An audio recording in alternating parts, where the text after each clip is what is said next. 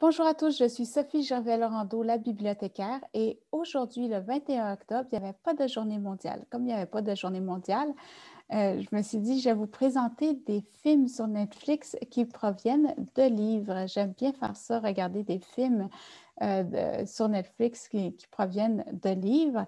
Alors, j'ai fait un petit, un petit tour et il y a plusieurs légendes qu'on peut lire euh, en livre, comme par exemple Mowgli, c'est une, légende bien connue, en livre. John